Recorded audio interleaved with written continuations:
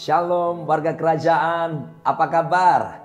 Kami berharap Anda semuanya aman dalam lindungan Tuhan, dalam keadaan baik-baik sama seperti jiwa Anda semuanya baik-baik saja.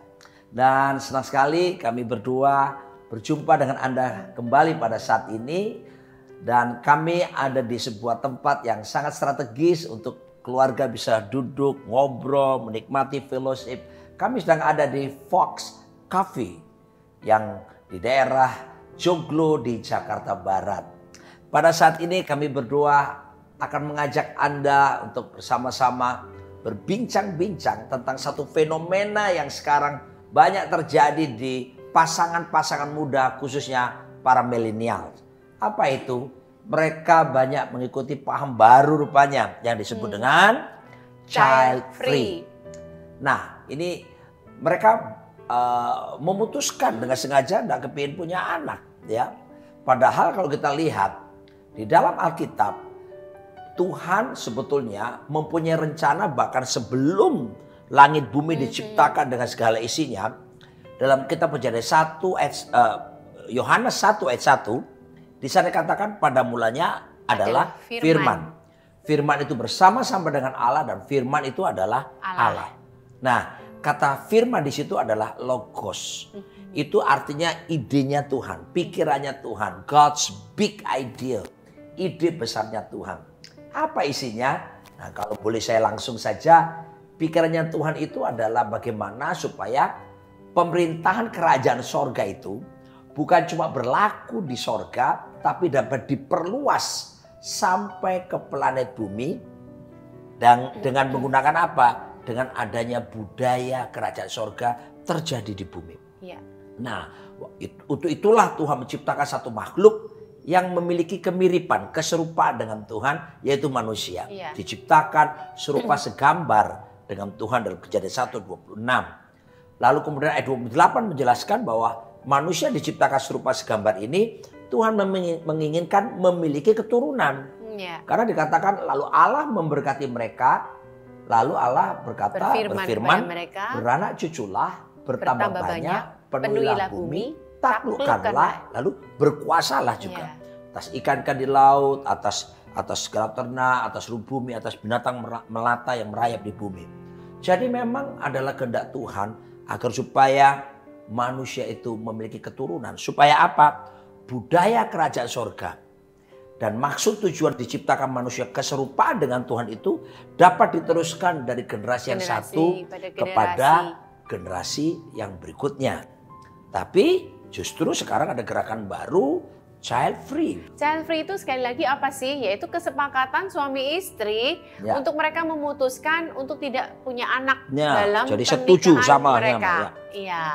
Nah, yes. sering kali yang menjadi alasan-alasan ini beberapa penyebab sih. Banyak yang pertama alasan. ya, contohnya alasan pribadi. Ini juga saya juga kami juga mempunyai anak-anak yang usia-usia seperti ini Milenial. dan mereka akhirnya curhat kepada anak saya, anak kami itu akhirnya cerita kepada kami. Yang pertama alasan pribadi di mana mereka terluka masa lalunya. Waktu kecil mereka tidak disayang ya. atau mereka dianggap tidak ada, bahkan mereka dinomorduakan. Rasa sakit yang ada pada mereka, akhirnya mereka memutuskan tidak usah punya anak deh, ya. daripada nanti kami pun menyakiti anak-anak kami takut terjadi pengulangan peristiwa. Iya, yang selanjutnya adalah alasan psikologis. Ya. Contohnya apa sih? Oh, adik kami itu autis. Jadi kami juga nggak mau punya anak karena khawatir nanti hmm. keturunan kami pun akan autis uh -uh. atau ada yang Down syndrome. Ya. Akhirnya yeah. memutuskan untuk tidak punya anak karena takut seperti itu.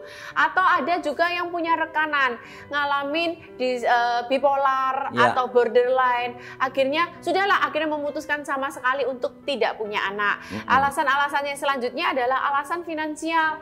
Ya. Aduh, yeah. hari gini jangankan punya anak, berdua aja kita hidup segar mati pun tak mau. Benar. Untuk makan pun aja kita pas-pasan, boro-boro punya anak. Ntar hmm. kalau punya anak gimana dong? Yeah. Lebih banyak pengeluaran, belum susunya, belum pendidikannya, lebih banyak lagi hmm. yang harus dipikirkan. Kemudian alasan bumi wah gimana ya kalau punya anak saat ini aja bumi udah semakin panas. Ini termasuk alasan lingkungan hidup. Lingkungan hidup, ya. manusia ya. sudah bertambah banyak, manusia sudah bertambah jahat. Nanti gimana? Kalau kita punya keturunan, kasihan dong anak kita nanti dapat yang hmm. panas-panasnya. Terus global warming. Global warming. Kemudian juga alasan filosofis yang berpikir, aduh nanti kalau aku punya anak, badanku nggak bisa kembali lagi. Dan kalau punya anak, kita juga nggak bisa bikin romantis yeah. seperti lagu-lagu sekarang gitu ya. Aduh harus jaga anak ini itu begitu banyak alasan. Nah sekarang saya, kami yang sudah mempunyai tiga orang anak dan, dan dua orang cucu. Satu menantu. Satu menantu, jangan lupa itu ya. Kami mau menyampaikan sukacitanya dan sanggahan-sanggahan terhadap alasan-alasan tersebut. Ya. Nah yang pertama adalah alasan pribadi yang berkata, oh aku dulu nggak disayang, aku dulu masa lalu kusuran. Kami berdua pun pasti punya cerita-cerita kelam lah masing-masing ya Ya, cerita, karena pola asuh orang tua yang iya, salah. Karena orang tua juga nggak ngerti parenting pada waktu itu, ya. cerita pahit. Tapi gini, kalau dibalik cerita pahit kita, kalau kita mau jujur gali, pastilah ada kenangan-kenangan indah di dalamnya. Cerita-cerita manis di dalamnya. Ya. Saya ini orang tua saya, mami saya khususnya, itu dari Semarang.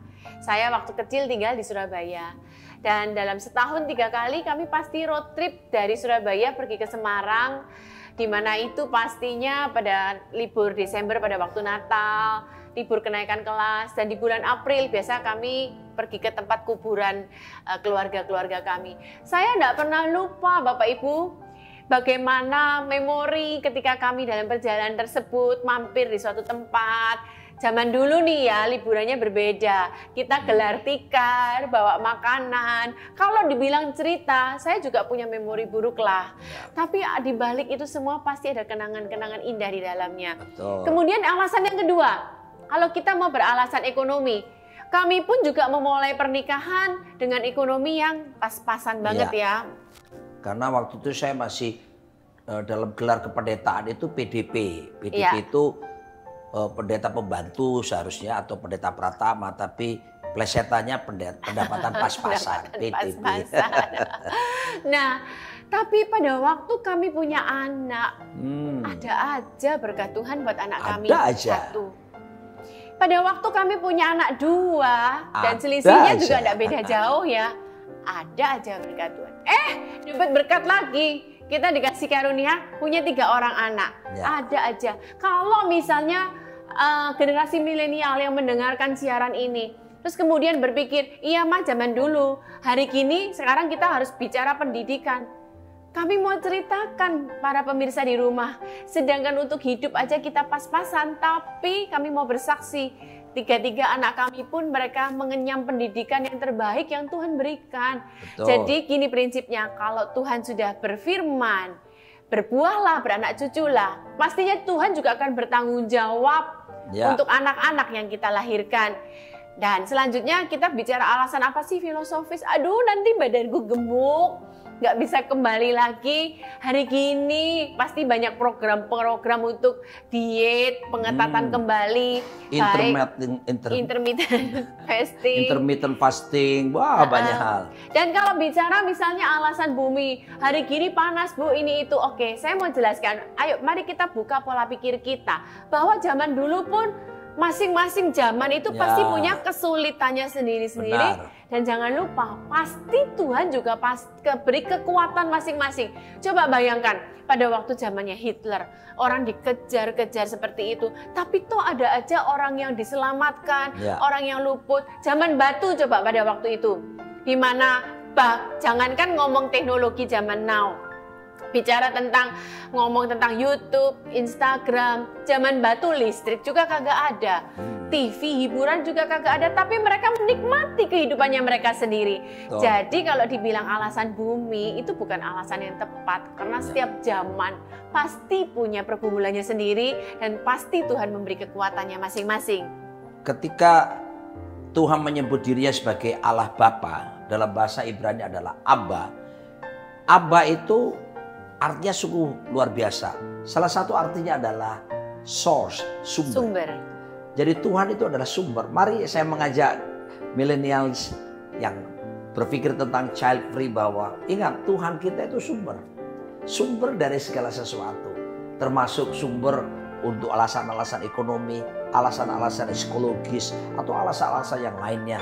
Sumber. Kami berdua sering kali berdoa, selain memanggil Bapa, kami berkata sumber, karena memang dia sumber dari segala sesuatu yang luar biasa. Nah, saya akan menjelaskan tentang uh, kalau child free sungguh-sungguh menentang tentang prokreasi. Pada Alkitab mengajarkan tentang prokreasi, bagaimana kita harus menghasilkan keturunan. Dalam kejadian 1 ayat 28 ditegaskan bahwa lalu Allah memberkati mereka. Ini pernikahan pertama Adam dan Hawa. Nah kata berkat di situ dalam bahasa Ibrani adalah barah. Kata barah di situ ada dua pengertian di situ. Yang pertama adalah kemampuan yang Tuhan berikan untuk kita bisa melakukan tujuan-tujuan Tuhan dalam pernikahan. Mm-hmm. Apa itu tujuan, tujuan Tuhan? Tuhan? Punya anak itu, ya. beranak cucu, berbuah, ber, ber, berkuasa, ya. penuhi bumi menaklukkannya. Jadi ada kemampuan Tuhan diberikan untuk kita bisa menuntaskan dan melaksanakan ya. tujuan Tuhan. Ya. Salah satunya punya anak. Ya. Jadi Tuhan sudah beri kemampuan kepada kita dan termasuk memeliharanya. Iya. Arti kedua ada kata barak di situ dalam bahasa Ibrani-nya kata berkat tadi adalah sebuah kuasa yang menaungi kita atau seseorang atau keluarga yang menjadikan orang itu menjadi sehat, bahagia ya. dan bisa menggenapi tujuan Tuhan di dalam kehidupannya. Jadi barak itu berkat itu bukan bicara soal uang. Iya. Ya, di situ bicara tentang kuasa Tuhan dan kemampuan yang Tuhan berikan. Jangan ragukan sesuatu yang sudah dijamin lewat firman Tuhan. Lebih percayalah apa yang Tuhan katakan Janjikan. tentang Anda. Ya. Lebih daripada orang lain katakan tentang Anda. Bahkan lebih daripada apa yang diri Anda katakan tentang Anda. Jadi mari kita punya kebergantungan yang total kepada Raja di atas segala Raja. Kepada Bapa Sorgawi. Dia berkuasa untuk memelihara kita semuanya. Sehingga percayalah anak-anak kita dan tentunya harus diimbangi pula kita yang harus bekerja keras, ya. kita harus rajin, ya.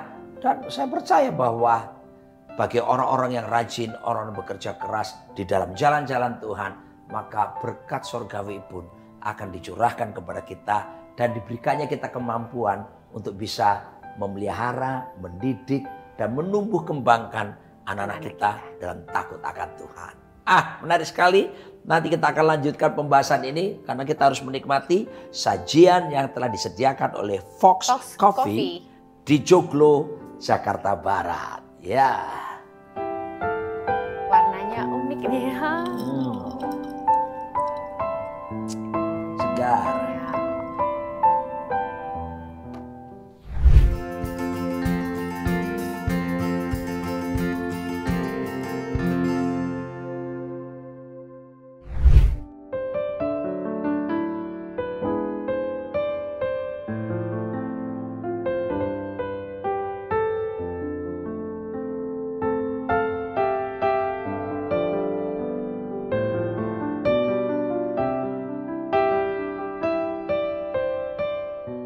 Kita masih dalam program Household of, Faith. Faith. Dan lokasi kami sedang berada di Fox, Fox Cafe Coffee. di Joglo, Jakarta Barat. Anda bisa menikmati sajian-sajian yang luar biasa, cocok buat keluarga-keluarga, buat anak-anak muda untuk kongko-kongko berfellowship satu dengan yang lain. Dan mari kita teruskan obrolan kita membahas yang saat ini sedang terjadi satu fenomena Tren, yang ya, muncul di kalangan anak-anak muda khususnya para milenial, para pasangan-pasangan muda yaitu child free. Nah, berikut ini kami akan tunjukkan kepada Anda semuanya apa perbedaan pandangan child free itu dengan pandangan firman, firman Tuhan. Tuhan. Ya, nanti kita akan temukan bahwa ternyata sangat bertolak belakang. Contohnya, kalau gaya hidup child free itu mereka selain nggak mau punya anak tadi, mereka menghentikan penyebaran gambar Allah di bumi ini. Ingat dalam uh, firman Tuhan, prokreasi itu sesungguhnya adalah sarana penyebaran gambar Allah di seluruh bumi. Kenapa? Karena manusia diciptakan serupa segambar iya, dengan iya, iya. Tuhan. Uh-huh. Ya, jadi uh, itu menghentikan ya, mengikat ya. Jadi ya. gambar Allah itu yang sebetulnya Tuhan inginkan dalam diri manusia keserupaan ya. yang terjadi itu diteruskan. Iya. Dari generasi kepada generasi itu kalau kita sengaja tidak punya anak akan terhenti. Iya, iya. Dan kalau seandainya digerakkan mendunia Anda bisa bayangkan. Ini yang perlu kita waspadai bahwasanya uh, ada gerakan yang kita kenal dengan LGBTIQA++ ya. Kalau saya mengucapkan seperti ini bukan kami membenci Anda, tetapi kami mengasihi Anda karena Kristus mengasihi Anda juga. Tapi saya, kami akan tunjukkan bahwa sesungguhnya agenda utama dari gerakan ini. Kenapa disebut plus-plus? Variannya telah lebih dari 50 varian yang Semakin ada. banyak Semakin variannya banyak. ya. Ketika saya masih kecil mereka menyebut cuman homo. Tapi sekarang muncul istilah-istilah yaitu uh, apa yang disebut dengan panseksual, aseksual, biseksual dan banyak sekali hmm. queer dan sebagainya. Nah, uh, gerakan-gerakannya seperti ini sebetulnya tujuan utamanya adalah sama sekali menghentikan adanya keluarga-keluarga. Iya, keluarga ya. Jadi kita harus melihat bahwa gerakan child free ini harus diwaspadai karena menghentikan gambar Allah yang harus diwujud nyatakan itu dari generasi kepada generasi. Yang berikutnya, gaya hidup child free itu mereduksi gagasan utuh tentang pernikahan Kristen. Padahal lembaga pertama yang Tuhan bentuk di planet bumi ini bukanlah gereja. Iya. Bukanlah pemerintahan mana pun di bumi, tapi adalah keluarga. keluarga. Tuhan bentuk keluarga. Nah, ini karena Tuhan yang membentuknya, Tuhan pasti akan memiliki rencana di dalamnya. Iya. Our God is the God of the purpose. Tuhan kita tuh Tuhan yang bertujuan. Dia bukan sekedar iseng menciptakan pernikahan, menciptakan keluarga.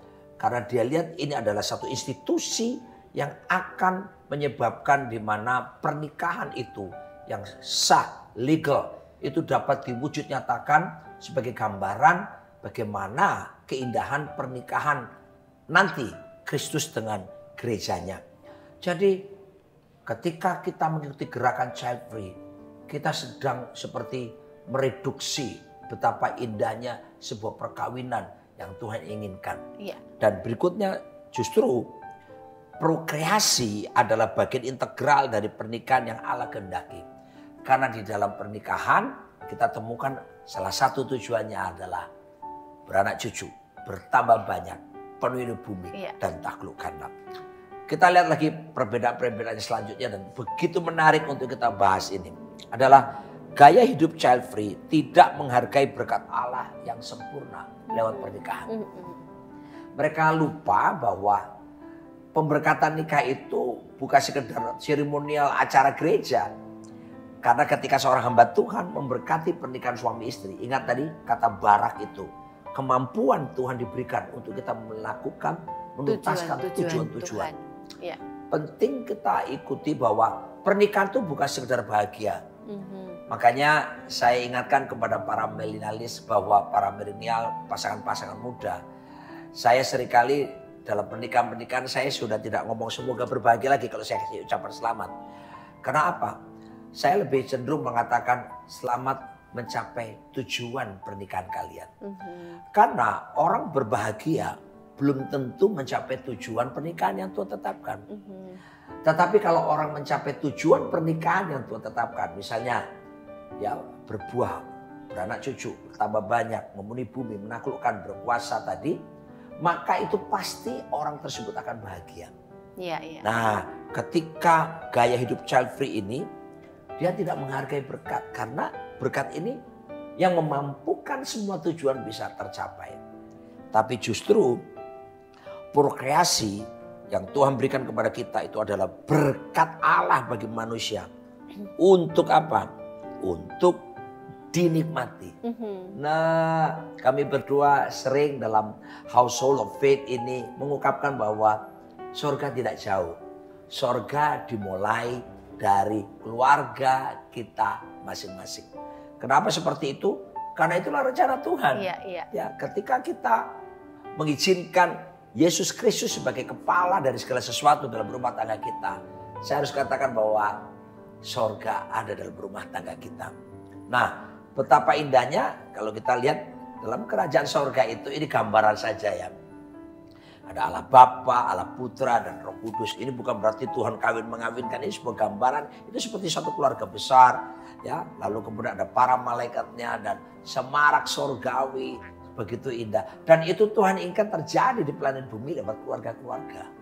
Ya, makanya semarak memiliki keturunan. Indahnya seperti yang kami alami. Ada aja berkat Tuhan. Ada aja pemeliharaan Tuhan atas kami. Lalu kemudian kita lihat gaya hidup child free. Sesungguhnya ini perhatikan ini. Melawan perintah pertama Tuhan. Jelas itu. Ya. Dan ini namanya perlawanan kepada kebenaran firman Tuhan. Yaitu untuk supaya memiliki keturunan. Berbuah, bertambah banyak. Kita tahu itulah pemberontakan seharusnya. Dan tentunya konsekuensinya ini berujung kepada apa yang disebut dengan dosa. Saya harus ingatkan kepada para keluarga-keluarga muda, dosa bukan sekedar masalah. Dosa juga bukan sekedar perbuatan. Dosa adalah perbudakan. Sebab Yohanes 4 ayat 38 Yesus berkata, barang siapa berbuat dosa, dia adalah hamba dosa, budak daripada dosa. Nah, kalau kita lihat di zaman perbudakan dulu, tuan itu bisa mengendalikan budaknya semaunya. Ya, kalau seorang budak sudah dibeli, dia tidak punya hak untuk hidup. Bahkan tuanya boleh membunuh. Menguasai dalam bentuk apa pun budak tersebut. Ketika kita melawan firman Tuhan, kita ada dalam kuasa perbudakan dosa. Dan itu akan membuat kita jauh daripada Tuhan. Dan tentunya jauh daripada menikmati karya Tuhan. Jauh daripada menikmati berkat-berkat yang memang disediakan Tuhan di dalam pernikahan. Selanjutnya kita lihat cukup banyak tapi Tolong Anda sabar untuk mendengarkannya dan memperhatikannya. Gaya hidup child free menolak tugas kemitraan dengan Allah itu sendiri. Kenapa disebut menolak tugas kemitraan? Sebab begini, waktu Tuhan eh, sebelum menciptakan langit bumi dengan segala isinya, ya dia tinggal sebagai firman Yohanes 1 ayat 1. Lalu dia menciptakan langit bumi dengan segala isinya. Dan dia membentuk manusia yang serupa segambar dengan dia. Nah perhatikan, manusia pada waktu diciptakan, maka Tuhan memberikan tugas kepada manusia untuk menguasai, iya. mengelola bumi ini. Dan terjadilah partner yang luar biasa Tuhan dengan manusia. Hak pengelolaan yang tadinya dipegang oleh Tuhan sepenuh-penuhnya sekarang didelegasikan, pula kepada manusia. Iya, iya. Jadi Tuhan dengan manusia, Tuhan mengajak manusia bermitra mm-hmm. untuk bisa mengelola bumi beserta dengan isinya ini. Dan dalam wujud yang berikutnya kemitraan ini diwujudkan manusia tidak berdiri sendirian, manusia Tuhan buatkan institusi pernikahan. Makanya keluarga juga bisa menjadi partner yang kuat bagi Tuhan agar supaya tujuan-tujuan Tuhan dapat tergenapi di muka bumi ini. Ya. Nah, jadi kita lihat ketika kita mengikuti kehendak firman Tuhan, kita sedang bekerja sama dengan Tuhan. Iya, Makanya iya. Tuhan menyediakan berkat. Hmm, ya, jadi sekali lagi ya, ya kemampuan. Dan jangan berkonotasi selalu berkat itu bicara soal uangnya. Hmm. Nah, itu itu jauh melampaui uang. Jauh melampaui apa yang sebenarnya menjadi kebutuhan utama manusia. Karena berkat di situ bicara tentang kemampuan yang Tuhan berikan untuk bisa iya. melakukan iya. tujuan Tuhan serta uh, covering tudung kuasa yang melingkupi, yang melindungi kita agar supaya kita berjalan dalam kebahagiaan, berjalan supaya kita bisa turut dengan kehendaknya. Sebab dengan kekuatan kita sendiri, dengan kekuatan keluarga kita sendiri, kita tidak mungkin bisa mencapai tujuan-tujuan Tuhan di dalam pernikahan. Nah, oleh sebab itu betapa pentingnya kita melakukan program Tuhan, yaitu prokreasi. Pertanyaan muncul sekarang Nah sekarang bukan pertanyaan tapi lebih saya mengencourage hmm. buat para pemirsa di rumah ya. semuanya, khususnya para milenial atau ya. mereka yang mengambil keputusan untuk tidak punya anak. Sekarang sebelum tidak hmm. punya anak, kalau pertanyaannya mau menunda, apakah boleh ya? Yes. Menunda silahkan. Hmm. Menunda tentunya orang yang menunda pernikahan bukan berarti dia hidup di dalam uh, uh, pandangan child free. Ketika dia habis menikah lalu dia ingin menikmati masa-masa berdua lebih banyak. Iya. atau kemudian kesiapan menata dalam hidup dulu, menata hidup lebih dulu, ya. mempersiapkan rumah kah atau pekerjaannya supaya stabil dan sebagainya, silahkan. Iya, iya. Jadi itu bukan melawan ketetapan Tuhan. Berarti menunda boleh, tapi mungkin ditetapkan juga ya Hmm. batasan-batasan waktunya. Ya. Karena sebelum kami juga eh, siaran ini kami berkonsultasi juga kepada dokter yang kami kenal. Ya. Dokter tersebut menyarankan usia yang paling baik untuk seorang wanita mempunyai anak itu adalah 25, 25 sampai 35, 35 tahun. tahun. Walaupun dia juga menyampaikan usia 21 pun seharusnya kandungan juga sudah siap, gitu ya. Cuman kan biasanya 21 tahun eh, usia-usia mungkin masih sekolah, menyelesaikan Ya, kuliah. kuliah. Jadi akhirnya menunda terlebih dahulu. Dan juga perlu diketahui bahwa dokter tersebut menyampaikan, wah nanti takut justru kalau punya anak kesehatan ini itu salah. Justru dengan menyusui merupakan salah satu cara untuk mencegah terjadinya kanker payudara. Makanya ketika Tuhan berkata beranak cuculah, tidak mungkin dong kalau Tuhan menyuruh beranak cucu kemudian menyusui akhirnya menyebabkan bikin kanker atau ini itu tidak. Justru itu salah satu sehat Ya. gitu ya. Nah sekarang saya kami sekali lagi Kita akan orang tua dari tiga orang anak dan opa oma dari dua orang cucu mengencourage semua di tempat ini untuk jangan takut untuk Punya punya, anak. Karena, Karena ada Malek Maleaki pasal 2 ayat 15 Iya. berkata, "Bukankah Allah yang esa menjadikan mereka daging dan roh dan apakah yang dikehendaki kesatuan itu keturunan ilahi. Iya. Jadi jagalah dirimu dan janganlah Hmm. orang tidak setia terhadap istri dari masa mudanya. Tuhan menginginkan keturunan ilahi. Percayalah dengan pertolongan Tuhan kita bisa memelihara anak-anak kita. Dan Nah, jangan takut ya untuk punya anak ya. Mm-mm. Oke. Pemirsa Household of Faith, dengan sukacita kami akan mendoakan Anda, khususnya Anda yang takut punya anak. Mari kita berdoa, biarlah kebenaran yang kami sampaikan ini memerdekakan Anda semuanya. Bapak terima kasih. Kami berdoa bagi setiap kami yang eh, sebelumnya mengalami ketakutan dengan berbagai alasan yang ada untuk punya anak. Kami berdoa di dalam nama Yesus, firman-Mu akan memberikan kemerdekaan. Karena kebenaran pasti memerdekakan. Dan biarlah saat ini mereka mengerti bahwa engkau menyediakan barah, blessing, berkat untuk pernikahan mereka. Supaya mereka diberi mampukan mencapai tujuan-tujuan pernikahan. Dan ada kuasa covering, perlindungan, tudung yang membuat mereka menikmati kebahagiaan dan berjalan sampai tujuan-tujuan pernikahan dapat terjadi. Aku lepaskan berkat ini dan biarlah mereka semua hidup dan mengikuti pandangan prokreasi seperti kau tetapkan seperti firman-Mu. Dalam nama Yesus. Amin. Kita nikmati sajian dari Fox, Fox Coffee, Coffee. yang ada di Joglo, Joglo, Jakarta, Jakarta Barat. Barat. God bless you all. Makan roti panggang coklat Hmm. keju.